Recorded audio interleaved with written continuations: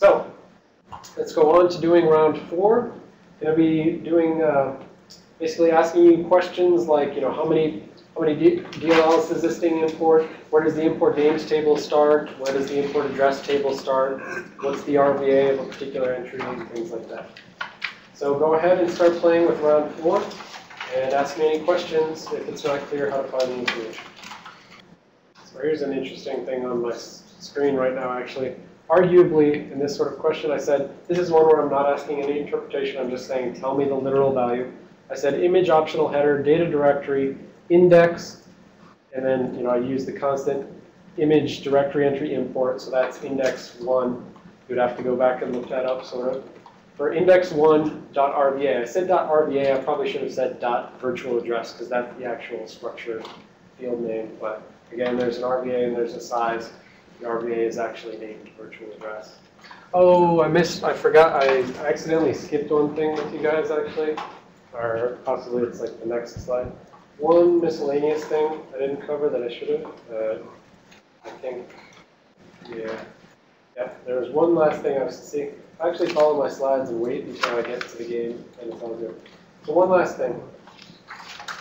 In the data directory, there's actually an extra thing that's basically like a shortcut to the IAT. I'll make sure this is on.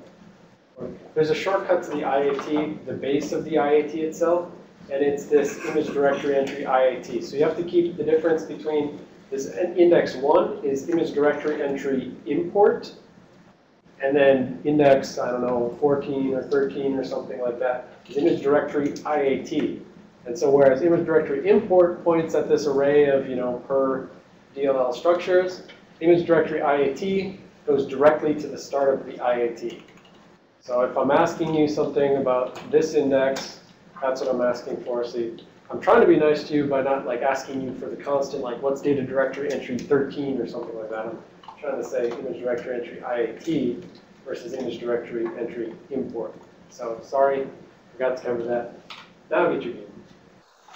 Question was what section is the import directory table in to find that out? Do we look in these section headers?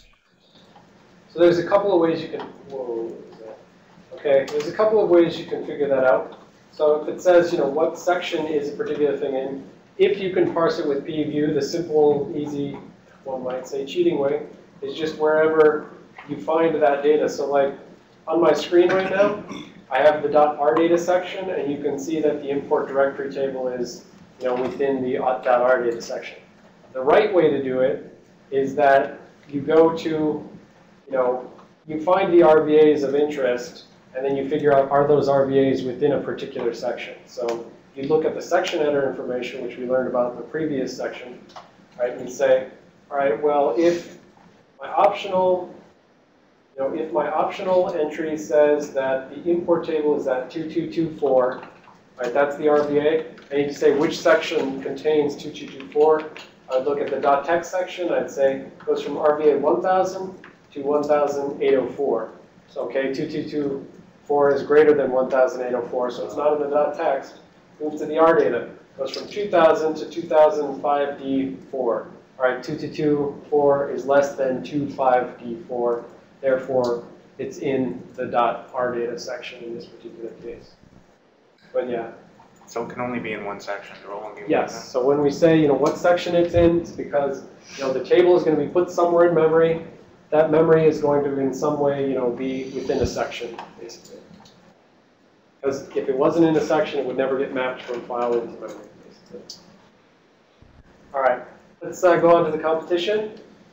Everybody cancel out your uh, existing Pythons.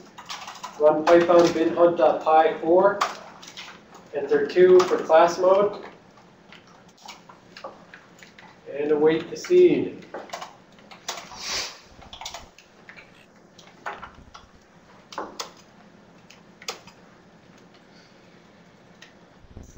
seed is 7431.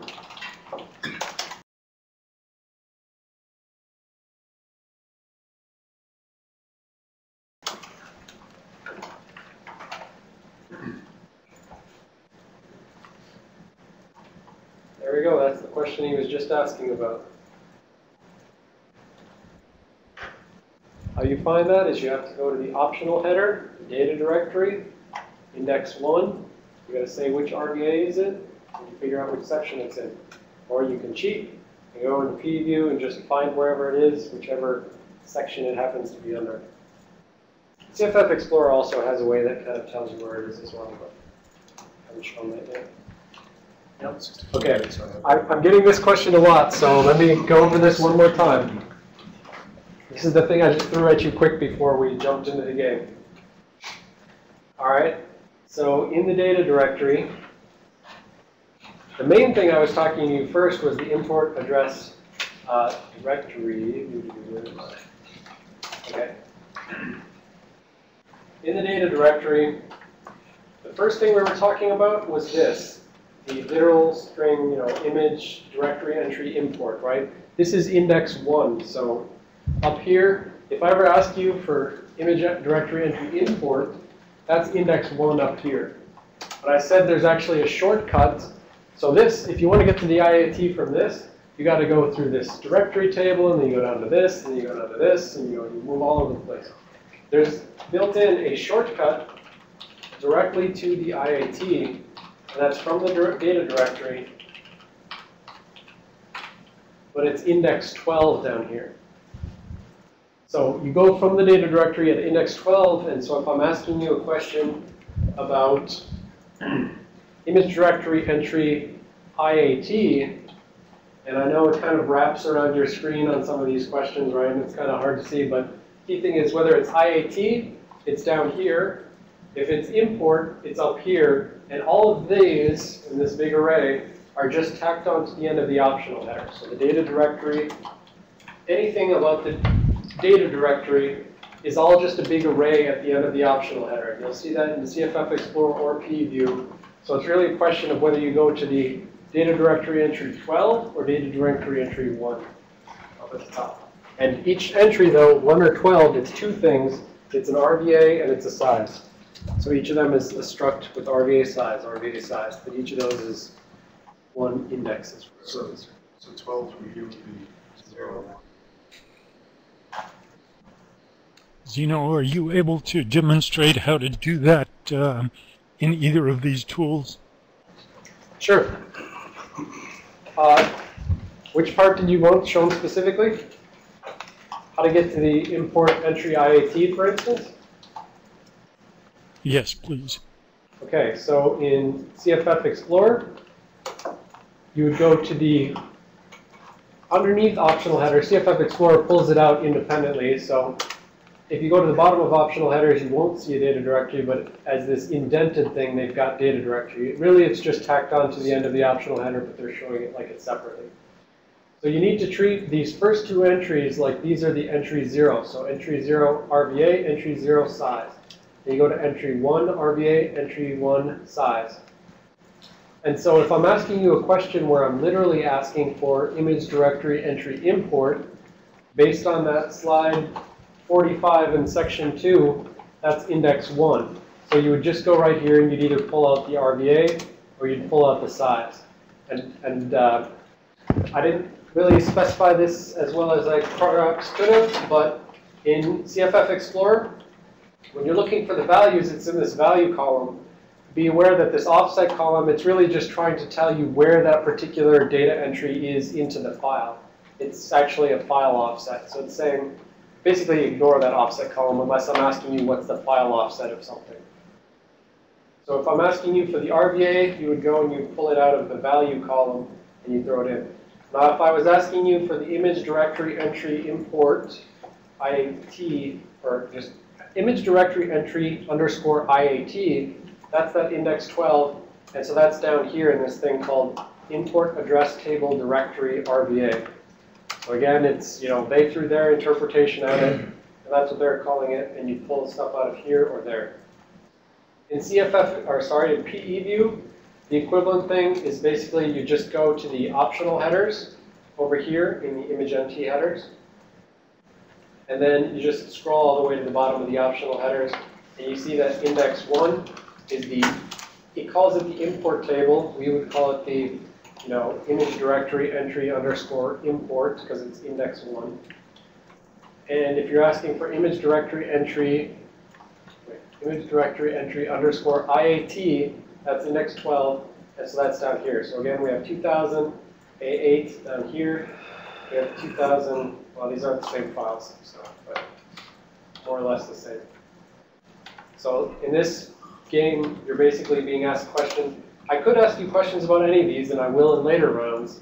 I'll be asking you about, you know, different entries, but for now, it's the only two things in the data directory that have relevance imports is index 1 right here, and index 12 down here. Yes? If you were asking about the number- number of entries in the directory table, you can tell. Uh, no. I think if, yeah, so if I'm asking about the number of entries in the direct image directory table or import descriptor table or anything like that, don't count the null entry. I, I want to cover this up there as well. So this is another thing that, you know, is down to ambiguity of the tools, but everybody sort of uh, flip your slides to, we're going to say, slide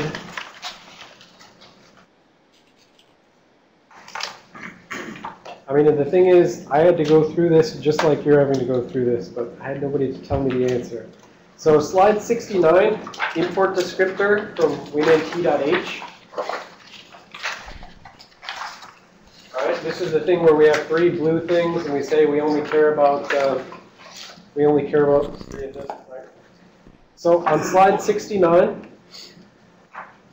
if we're looking at this thing in PE view, it's relatively straightforward. So this is the data structure for one of these image directory entries, right? Or image descriptor tables, or whatever you want to call them. The first entry, you know, it's not clear. Original first thunk, what is that, right? Well, at least in CFF Explorer and as well as in the actual text description later, I say, you know, that just first thing points to the import names table. And thankfully, PEView tells you right there, it says import names table RVA. Right, so you can find the import names table RVA for this particular DLL at that offset. The last entry is the import address table RVA. You know, in this data structure, it calls it first. The reason I wanted you to pull these slides up is because this same data structure over in CFF Explorer is kind of a little weirder, right? We've got a horizontal view of this data structure, and we've got, you know, the name out here at the front, but then we've also got this name RVA over here. So it's pulling out the name RVA, trying to show that this is the stuff for user 32, this is the stuff for MSVCR. But these columns, okay, and then it adds an extra field that has the imports. It's trying to like tell you it's pre-counted the number of imports for you, so you don't have to like look it up yourself. But the things that we care about here are this first thing. There's one, two, three, four, five. And so let's start from the very end. Well, it actually, you can see the IAT is mentioned right up here in this column name. It says FT is IAT. And for the record, I don't know what the FT stands for. That's actually one of my to-do lists is go ask the guy what the OFT and the FT stand for. But, so we've got a column IAT. Well, this is going to be this first thunk. So we're just taking this and we're rotating it 90 degrees. The last entry up here is first thunk. The second to last entry, name RVA, is name. Third to last, forwarder chain is forwarder chain, right? So this all just maps up with this data structure here. So if I'm asking you about the import names table, that's the first thing. If I'm asking you about the import address table, that's the last thing in that sort of data director entry. So it's clearer in PE view that import names table is first, import address table is last.